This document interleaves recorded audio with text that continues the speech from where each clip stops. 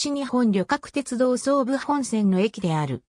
駅名の干潟は、江戸時代初期に干拓された椿の海に由来する。ホーム相対式ホーム2面2線を有する地上駅。かつては0番線があった。ホームはかさ上げされていない。互いのホームは古線橋で連絡している。JR 東日本ステーションサービスが受託する業務委託駅であるが、早朝と夜間は無人となる。自動券売機、簡易スイカ改札機が設置されている。2010年夏に改札内外ともに水洗式トイレに変更された。2020年度の1日平均乗車人員は667人である。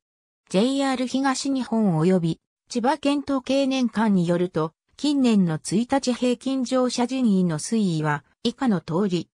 蒲須伊勢大宮郡駅前は国道126号に面しており、国道沿いには商業施設、飲食店などが林立する。